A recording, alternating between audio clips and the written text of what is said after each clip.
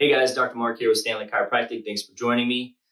You know, we're able to treat a lot of people with degenerative disc disorders and herniated discs in this office. And one of the primary ways that we're able to do that with is with spinal decompression. And along that journey, I'll often get a question about uh, inversion tables and if those are the same or not. So I want to address that question.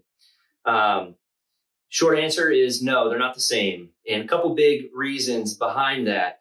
Uh, you know, when we do spinal decompression, what we're really trying to do is restore good, healthy motion to a joint. These discs through here, they're like ball bearings and they allow those bones or the joints to move through a full, healthy range of motion. But if that ball bearing gets really compressed, you can't get a lot of motion through there. Well, the discs require that motion to stay healthy. They get fluid and nutrients in and they push a lot of toxins out. And so what happens when you go on an inversion table and you're hanging upside down, you're really just stretching and you're stretching a lot of tissues on the way down from your ankles to the knees to the hips, SI joints, and then finally the low back, including all the muscles.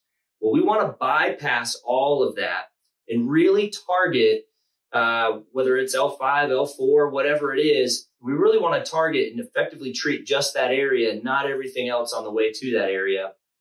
But then also, because that joint needs that motion to be healthy, we want to make sure we're pumping that area. And that's what decompression does is we target it.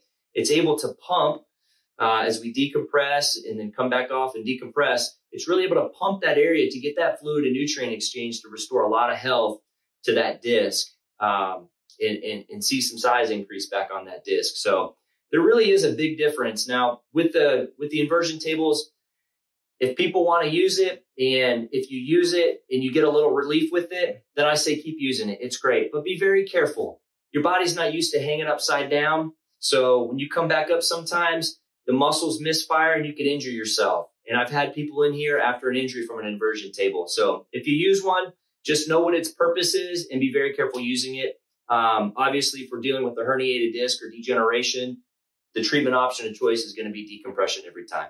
Hope that helps.